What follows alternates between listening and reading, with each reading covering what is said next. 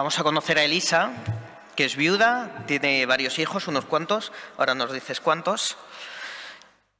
Y también tu historia es una historia de dolor, heridas y de esperanza.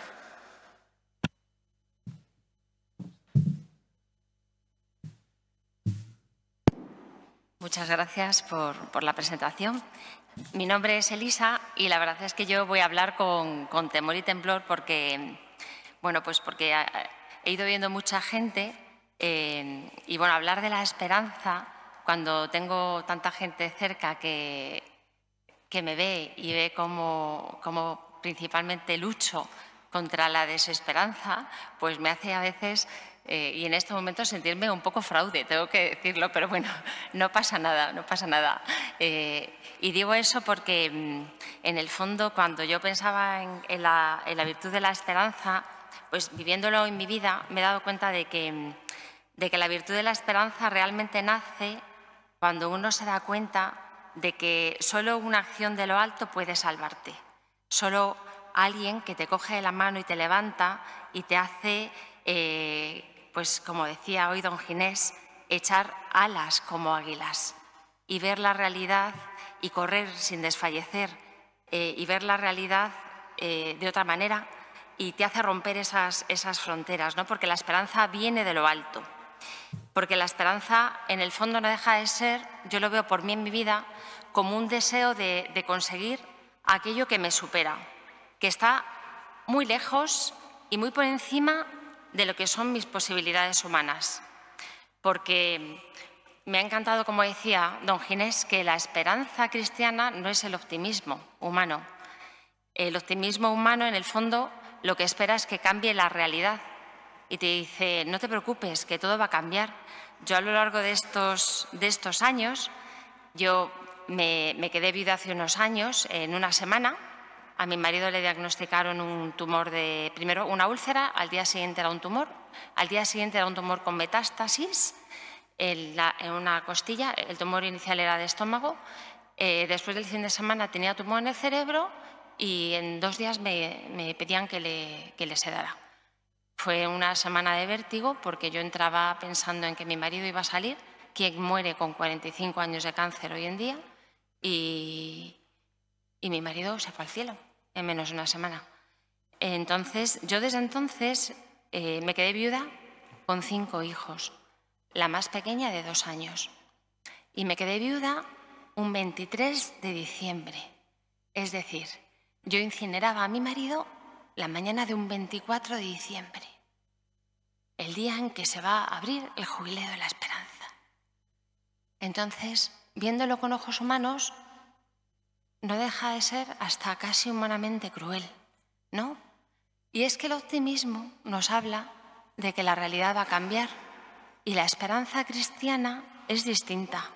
La esperanza cristiana no ve el vaso ni medio lleno ni medio vacío porque la esperanza cristiana mira a la fuente.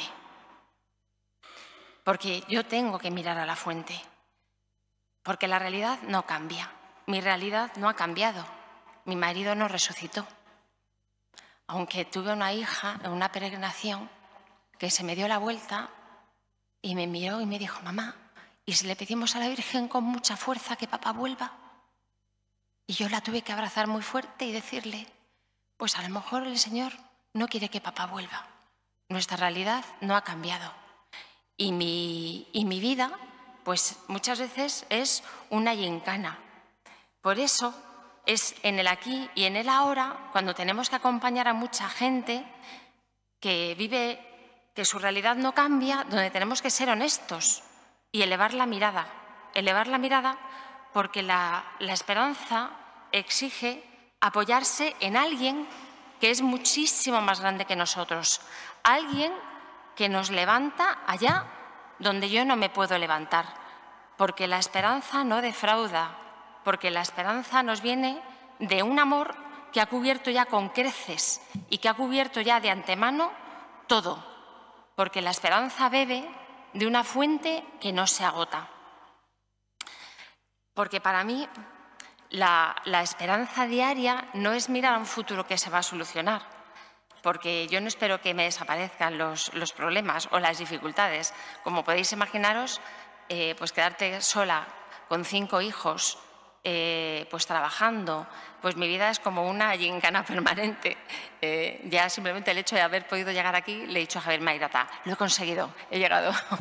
es, es, una, es una gincana, pero, pero es que mi realidad no va a cambiar.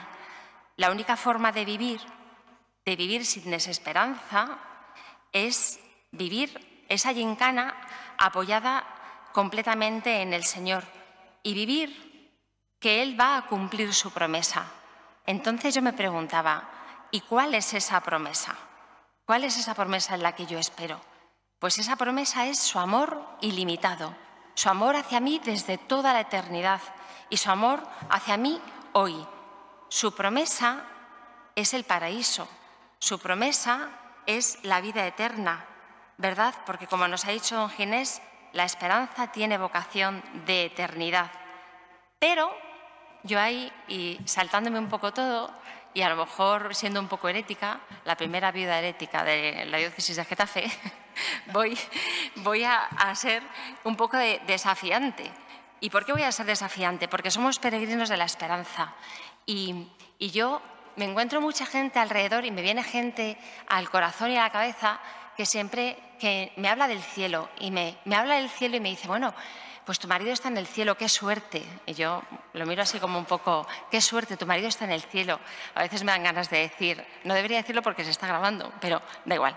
Eh, a veces me dan ganas de decir, oye, pues qué pena, ¿no? Que no se haya ido el tuyo, si es tan bueno, pues, qué lástima. Esto que no, salga de aquí, ¿eh? Pero, pero es verdad que hay mucha gente que habla del cielo y habla de una esperanza, que a mí me cuesta mucho. Y me cuesta mucho porque me dicen, bueno, ya verás el encuentro final y ya verás cuando todo esto pase y ya verás y, y como si ese otro mundo, ¿no? Muchas veces nosotros hablamos como si ese otro mundo no existiera ahora, como si ese otro mundo solo nos viniera después de la muerte. Y yo lamento decir que me revelo ante eso. ¿No? Que bien cuando lleguemos, es verdad que nuestro cumplimiento está en el cielo y que somos ciudadanos del cielo, pero es que eso tampoco es así del todo. Ese cielo existe ahora, ¿no? aunque no lo veamos. Eh, porque la esperanza ve lo que será y porque llevamos en nosotros las semillas de vida eterna, de una vida eterna que se está cumpliendo y aquí, porque la esperanza ve lo que ya está entre nosotros, lo que nos rodea. Y además, para que no se me vea que soy tan herética, lo digo con, con San Pablo. No ponemos los ojos en las cosas visibles, sino en las invisibles, pues las cosas visibles son pasajeras, mas las invisibles son eternas. Y hay dos mundos, el visible y el invisible, y que existe realmente, aunque no lo vemos, porque la esperanza nos fuerza, nos obliga, nos insta a mirar más allá de lo que nuestros ojos no pueden ver. Nos obliga a mirar a ese mundo que está ya aquí presente, que no es un futuro distante, ¿no? lo decía Newman, no es distante, no está sobre el cielo, ni más allá del sepulcro.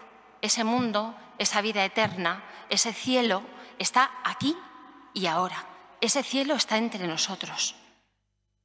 ¿No? Que es la vida eterna. Y a mí eso es lo que me, me espolea. Y a mí eso es lo que me urge. Y me urge cada mañana.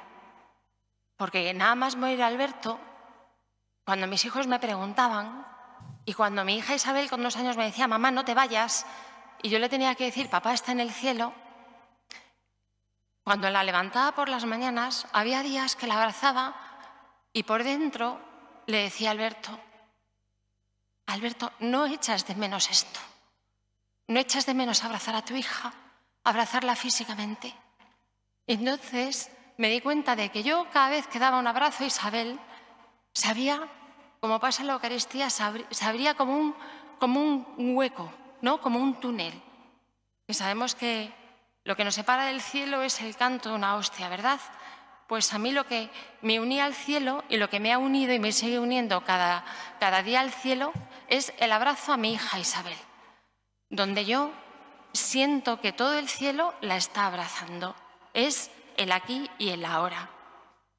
Porque si la meta definitiva, si mi meta definitiva es esa vida eterna, entonces esa vida la tengo que poder alcanzar aquí y ahora, donde estoy.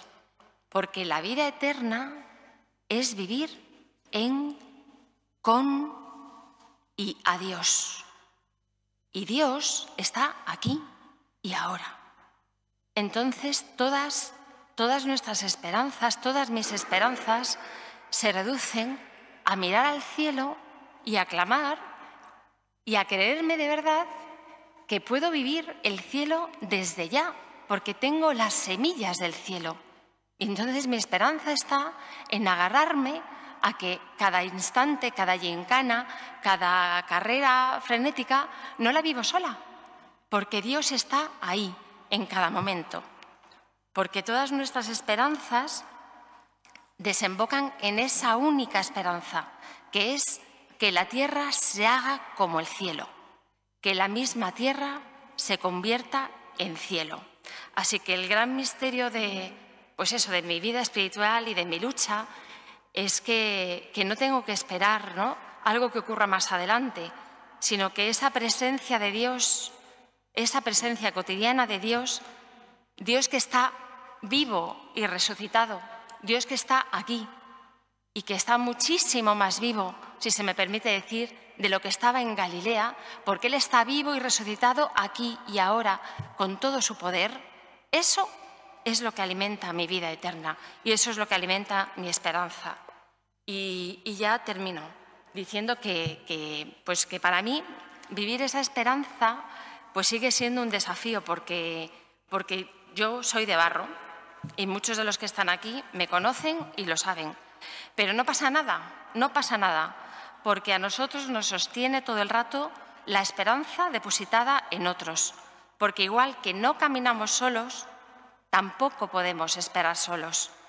Y si somos capaces de esperar, es porque estamos unidos. La esperanza siempre se sostiene sobre algunos, sobre esos santos que caminan a nuestro lado, sobre esa comunidad que nos sostiene y sobre todo se sostiene en María.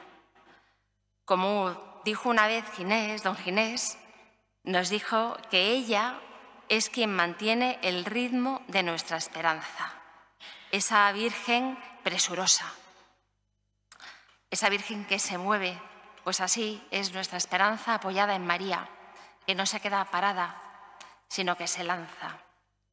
Pues yo en esta mañana quiero depositar mi esperanza y nuestra esperanza en las únicas manos que no defraudan, que son las de María. Muchas gracias.